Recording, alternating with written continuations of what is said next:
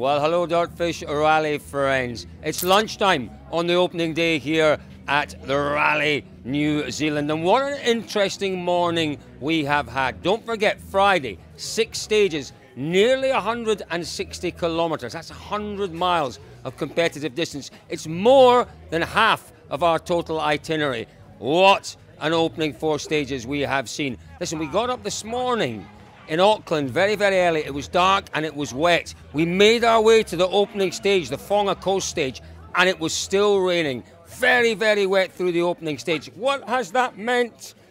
That that man there, Gus Greensmith. Well, listen, let's go to Gus Greensmith. What a morning he had. Quickest through the Whaanga Coast stage, very much suiting the Puma. It was really twisty at the end. The Puma beautifully balanced. Gus Greensmith taking his second ever stage win in the World Rally Championship, his first win on gravel. A great way for him to kick off the morning. But let's take a look at who's leading the way. It is Ott Tänak after four stages of the rally. A slender lead over Elfyn Evans and Craig Breen. Let's hear what Tänak had to say to us a little earlier on. Uh, I wouldn't say it was far too strong, but uh, but we had a solid morning.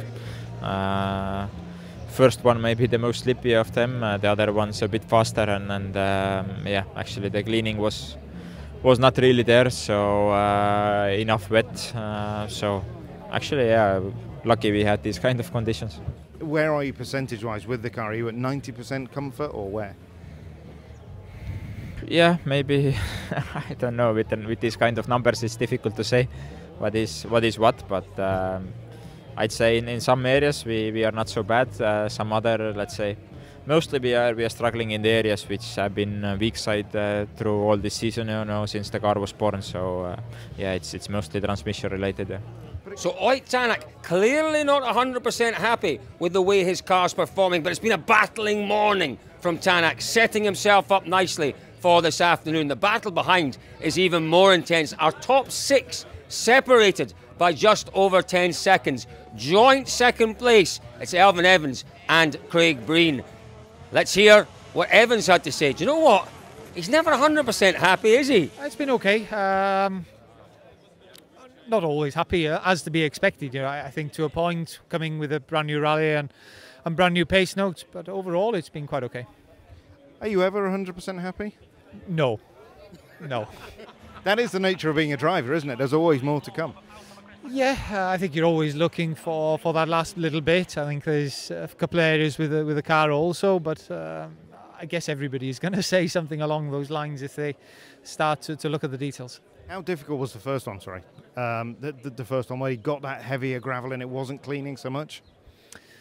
Uh, I don't know. It's hard to to say what the effect of, of the road is. For me, at the beginning, uh, I was a bit under driving. It seemed like the I was surprised with the level of grip, or my notes seemed to be anyway one call to to uh, conservative in, in a lot of places right at the beginning of the stage, but then towards the end of the stage, a lot more greasy under the trees in that uh, very narrow part, and uh, there it wasn't so easy.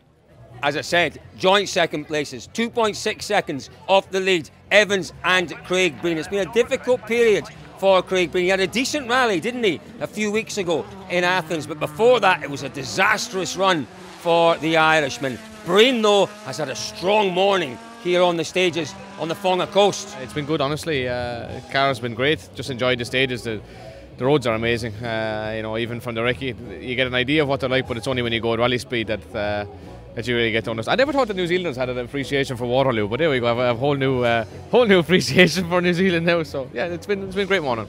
You talked in Greece about the fact that you just needed to relax and just do what you do. Is it, is that working here? So far, yeah, yeah. I've just just tried to soak it all in. I think we all are, to be honest with you. We're just trying to take it all in because uh, they're so special, so unique, and we're only getting this chance to, to do it. So uh, it's definitely been a lot, a lot of fun so far.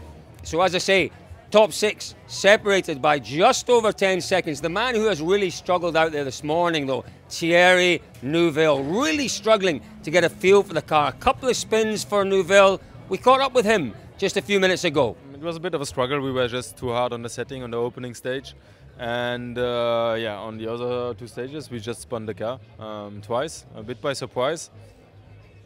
So uh, yeah 20 seconds lost uh, by mistake.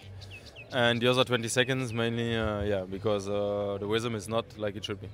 What, what can you do if the, if the car is running too hard? There's limited amount you can do here. Yeah, um, luckily uh, I went for the softer springs uh, yesterday evening. Um, uh, because we knew it was going to be more slippy than, than what we saw on recce.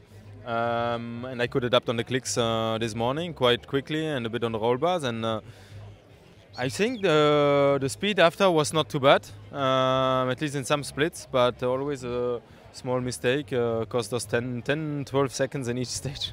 So a fascinating morning here at Rally New Zealand. Really interesting afternoon ahead of us.